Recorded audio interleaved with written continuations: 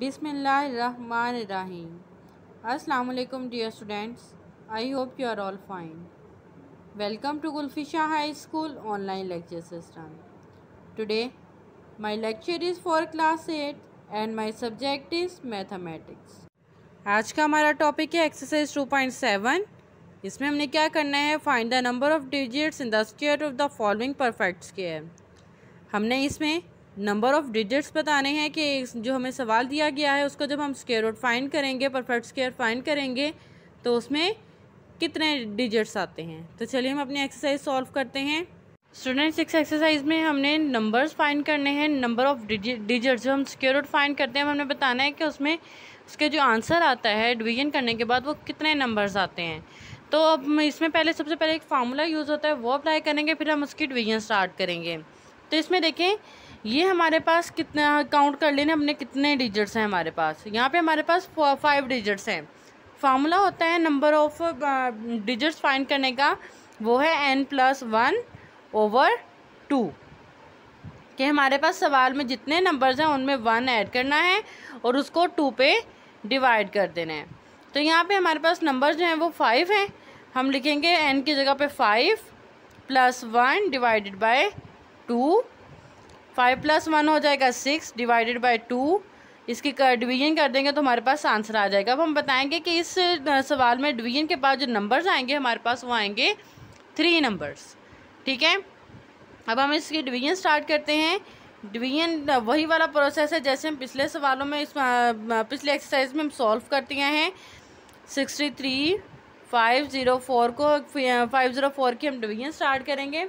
वही प्रोसेस है सेम जैसे हमने पिछले सवालों में डिवीज़न की थी। तो इसमें भी हम पेयर्स बना लेंगे अपने। दो दो का पेयर्स बनाते थे, जो सिंगल बचता था, फिर हम उसको सॉल्व करना स्टार्ट करते थे। इसमें अब हम क्या करेंगे? टू के साथ इसको सॉल्व करेंगे। टू टू ज़ा फोर आ जाएगा। इसको माइनस करेंगे टू आएगा और दो डिजिट इकट्ठे नेक्स्ट नीचे उतार लेंगे। टू प्लस टू फोर हो जाएगा। अगला नंबर हम लेंगे फाइव क्योंकि लास्ट पर भी हमारे पास फाइव है। ये आपको भी पता है कि जब लास्ट में इवन या और नंबर हो तो हम उसी के मुताबिक उसको सॉल्व करते हैं।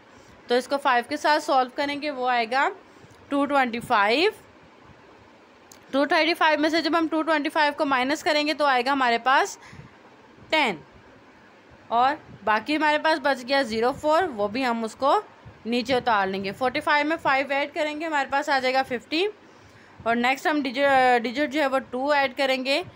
उसके साथ हम उसको सॉल्व करेंगे तो हमारी पूरी पूरी डिवीज़न कंप्लीट सॉल्व हो जाएगी। मतलब फाइव ज़ीरो टू को जब हम टू से मल्टीप्लाई करेंगे तो हमारा सवाल मुकम्मल सॉल्व हो जाएगा। इस तरह हमारी जो डिवीज़न आई है six three five zero four की वो है टू फिफ्टी टू और देखें, इसमें भी तीन ही डिजिट्स हैं, जहाँ जैसा कि हमने यहाँ पे इसको फार्मूले के ज़रिए से सॉल्व करके देखा था। तो हमने बता देना है नंबर ऑफ़ डिजिट्स इसके कितने हैं। नंबर ऑफ़ डिजिट्स हम लिख भी देंगे।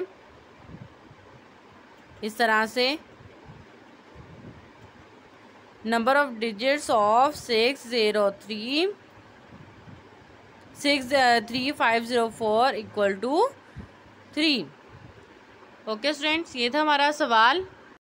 स्टूडेंट्स, हमारा जो पिछला सवाल था, उसमें देखा था हमने कि हमारे पास सवाल में पाँच डिजिट थे और हमने फार्मूला इस्तेमाल किया था n plus one over two तो हमने ये याद रखना है कि अगर हमारे पास और नंबर्स हैं तो हमने फार्मूला यूज़ करना है n plus one over two और अगर हमारे पास इवन नंबर है तो हमने इस्तेमाल करना है जस्ट एन ओवर टू ये फार्मूला अब इसमें देखें सिक्स डिजिट्स आ रहे हैं मतलब इवन नंबर्स आ रहे हैं। तो हमने एन ओवर टू यूज़ करना है एन है हमारे पास सिक्स डिवाइडेड बाई टू करेंगे और इक्वल टू थ्री मतलब इसका आंसर भी थ्री डिजिट्स का आएगा। तो इसकी डिवीज़न स्टार्ट करते हैं। देखते हैं इसके भी थ्री डिजिट्स आते हैं आंसर में या नहीं। हम ये इससे चेक कर सकते हैं, इस फार्मूले से कि आया कि हमारे पास नंबर जो हैं वो पूरे आते हैं या नहीं आते। मतलब जो हमने सॉल्व किया उससे उतने नंबर्स आते हैं या नहीं आते हैं। तो इसकी डिवीज़न स्टार्ट करते हैं। सबसे पहले देखें एटी थ्री है पेयर में। तो हम लोग इसको नाइन से सॉल्व करेंगे। नाइन नाइन ज़ा एटी वन। माइनस करेंगे टू आएगा। नेक्स्ट टू डिजिट से इकट्ठे नीचे उतार लेंगे। नाइन प्लस नाइन करेंगे एटीन आएगा। अगला डिजिट हम लेंगे वन।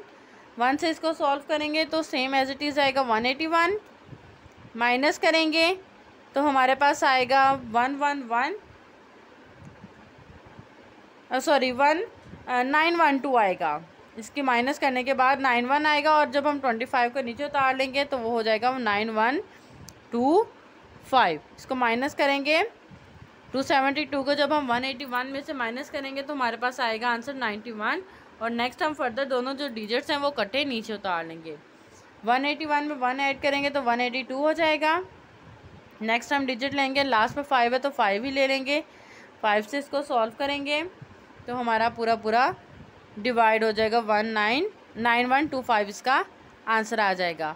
और इसमें भी देखिए हमारे आंसर में थ्री डिजिट्स ही आ रहे हैं कि अंडर रूट जब हमने eight three seven two two five को जब हमने सॉल्व किया है, उसके भी आंसर में नाइन नाइन वन फाइव आया और उसके आंसर में भी थ्री थ्री डिजिट्स ही आए हैं। ओके स्टूडेंट्स ये था हमारा आज का lecture I hope you understand please do your homework of all these questions and submit to school. Thank you students. Please subscribe CKH channel. Press bell icon. Like, comment, share.